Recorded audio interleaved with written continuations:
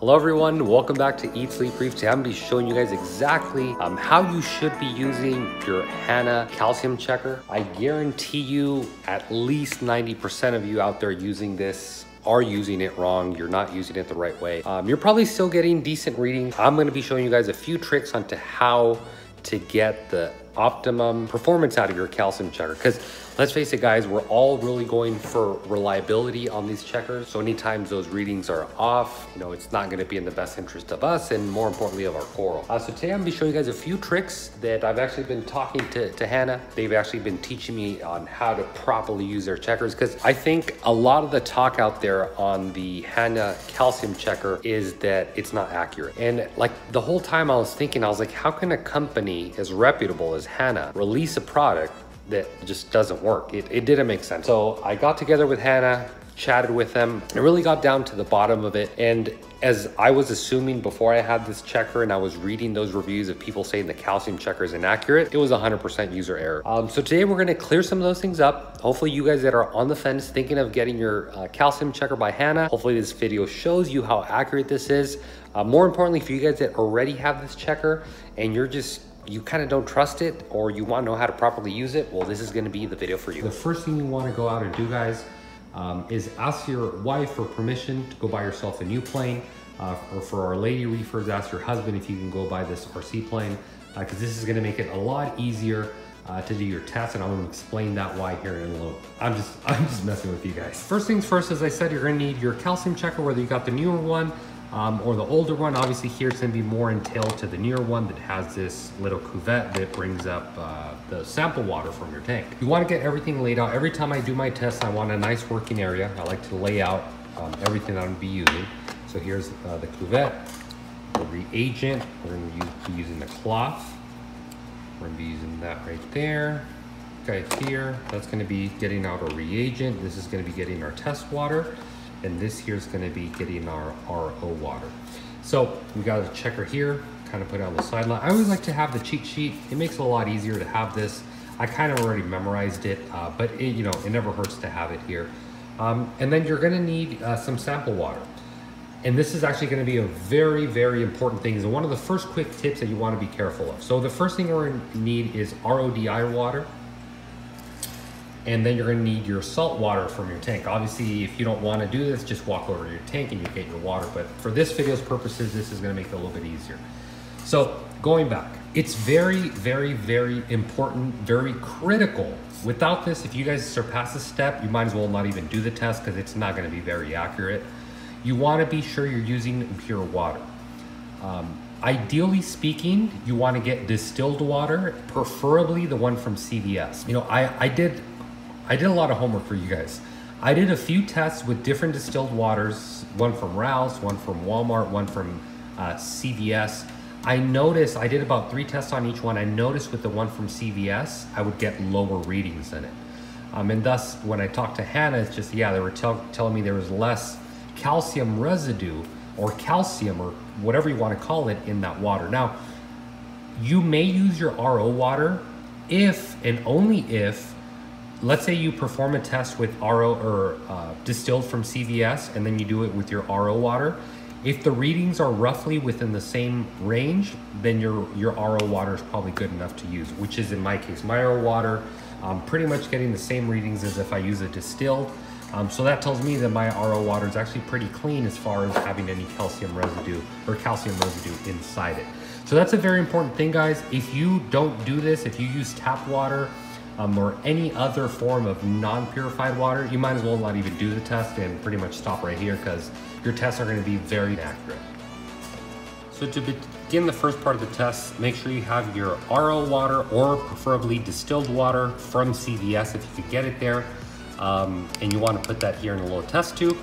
Then you want to have your cuvette here and then your reagent and as well your syringe is going to take out one milliliter of this reagent.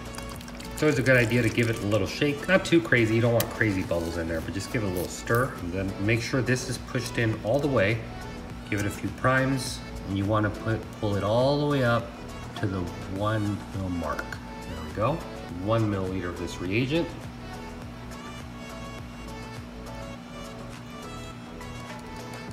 So once you put your one mil or you fill it to the one mil mark, you want to add the rest of it to the 10 milliliter mark. So in other words, nine mils of just regular uh, distilled water, uh, preferably. And also a very important thing that actually I didn't even know, guys, it's pretty funny, but I never knew where to stop as far as how the line goes and how the watermark looks. And I'll explain that here shortly. Let me uh, first eyeball it and then I'll tell you guys exactly what I mean. I always wondered, and, and it was funny because I, I asked Hanna, you want to mix this up five times? So I always ask Hanna, when exactly do you stop? Let's say that's the line on the cuvette here. That's your 10 mil line. And as you know, anytime you put water in a little jar like this, it always creates this U shape. Excuse my drawing, guys. But I always ask them, when do you fill to the, the line to the top of here or to the bottom? And they told me you always do it to the bottom. So in other words, when you're looking at it from the side, it should look like that, okay? Um, and that's, I guess it wouldn't matter if you do it the other way because it's it's gonna be consistently inaccurate in that way, if that makes any sense to you guys. But ideally you wanna do it just like this. So now that we gave it a, a little, inverted a few times, one thing you wanna do is you wanna clean it. Now this thing has to be pretty clean. It's not too, too crazy, but you want it as clean as you can get it. Uh, once we clean it, we're not gonna touch it anywhere in the center. We're only gonna touch it here from the top and here from the bottom because the reading is taken from the middle. So another very important thing that I learned from Hanna, anytime you put it into the checker, you wanna make sure you put it in the same way every single time. What I mean by that is if we put it in to zero it out like this, we don't wanna re-put it in again, turned like that. Because obviously this glass isn't perfect. It may look perfect to you, but when it, the light is shining through it, uh, there may be some distortion, so that'll also fluctuate the reading. So the best way to do it, there's a 10 mil mark on it.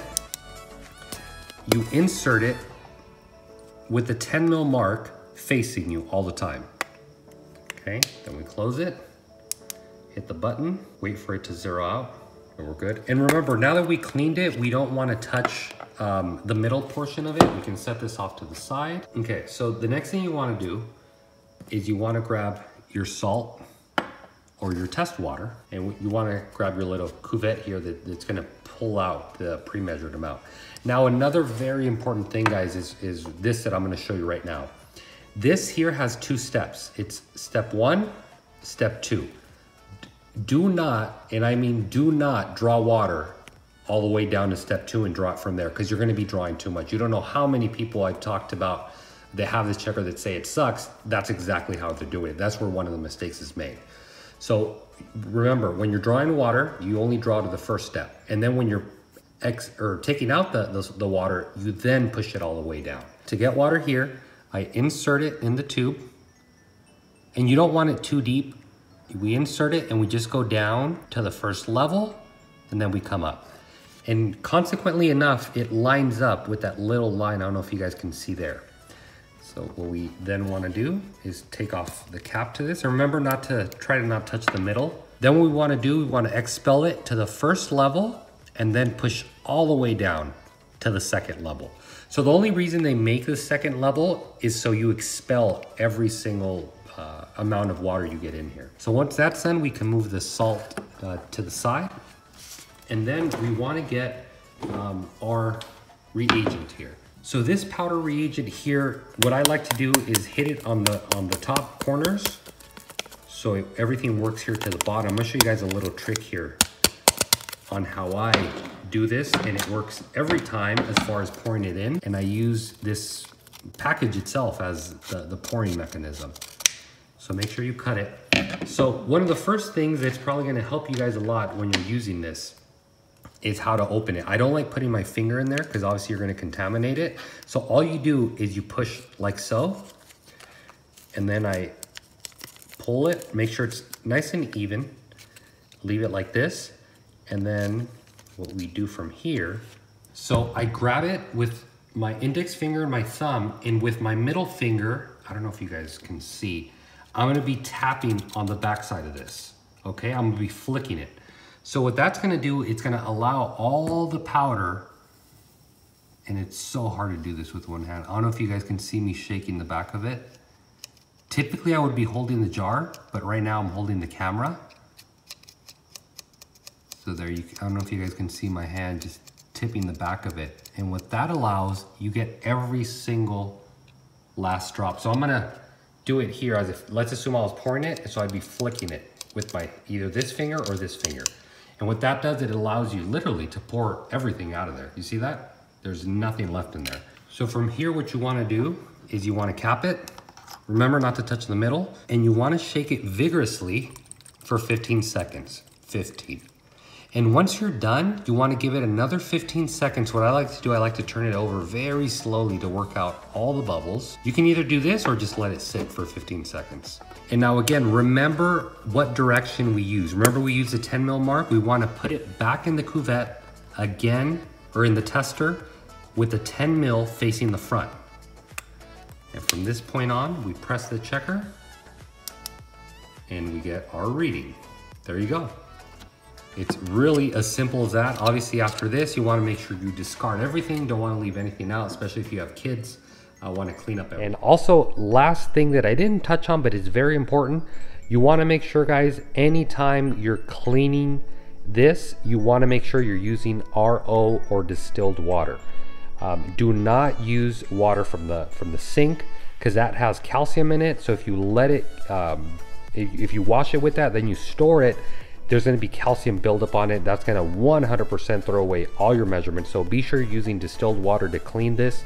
Not only clean this, but also use, use the same technique to cleaning your alkalinity and your phosphate checker. So really hope you guys got some useful information, especially for you guys that were on the fence of maybe purchasing this. For you guys that already own it, hopefully I taught you guys a few things on your checker.